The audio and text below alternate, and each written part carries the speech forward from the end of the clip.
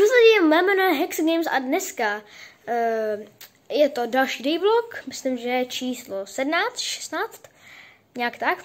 A chci jenom říct, že zítra nebo dneska večer vyjde video pauza challenge.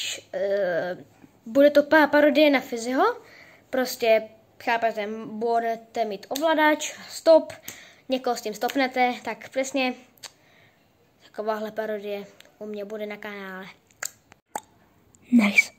Jinak, nebudu tam sa v tom videu, uh, bude tam i můj brácha. A berte to vážně jako parodii, protože jestli to nebudete brát jako parodii, tak si přijdu pro tebe domů a zabiju tvoji rodinu.